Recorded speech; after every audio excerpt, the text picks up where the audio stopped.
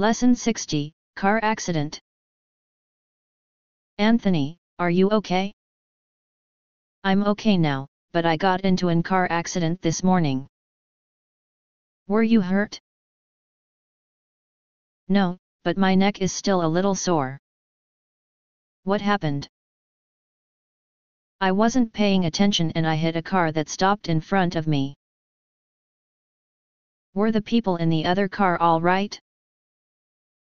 Yes, they're fine.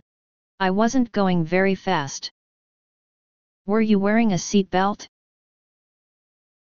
Yes. Did the police come? Yeah, I called them on my cell phone right after it happened. Do you want me to drive you home? No, I need to go get my car fixed this afternoon.